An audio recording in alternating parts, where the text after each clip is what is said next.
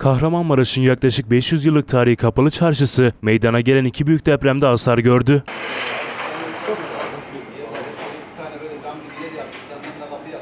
Bu kapsamda tarihi kapalı çarşıda 50 yıllık esnaf olan Yunus Gözler'in ve komşu esnafının dükkanı, iş yerinin arkasında bulunan binanın yıkılması sonucu ağır hasar alarak yıkıldı.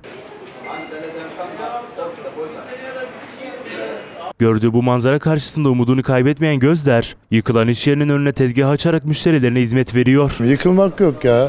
Şükür ayaktaysan mutlaka çalışacaksın. Emeklerini takip edeceksin. Hayat devam ediyor. Ölünen ölünmüyor. Ama yani boş durmakta bir anlamı yok yani. Çalışmak lazım. Allah'ın veriyorlar çalışacağız birader. Konuyla ilgili Aksu Haber'e konuşan kapalı çarşı esnafı Yunus Gözder, babasından kalan bu iş yerinde 50 yıldır esnaflık yaptığını belirterek, bu süreçten sonra da vatandaşlarımıza kaldığımız yerden hizmet vermeye çalışıyoruz dedi. Ya hayatta kapılmadım ya. Allah veriyor, Allah alıyor. Tekrar sıkıntı yok. Yani bunun önemli olan inanmak gerekiyor, inançmak gerekiyor. Allah devlete zeval vermesin. Devlet de arkamızda. Her türlü. Onun için vallahi hiç üzülmedik yani. Ölmedik ya abicim. Allah tekrar verir yani. Rızık veren Allah'tır yani. Şu anda neler yapıyorsunuz? Şu anda işte kendi sattığımız ürünlerin yani kısmen bazılarını açtık boş durmayalım diye.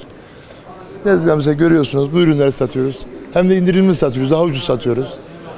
Böyle bir şey var. Bereket de veriyor Allah yani. Ufak tefek satıyoruz yani. Herkesi memnun bırakıyoruz.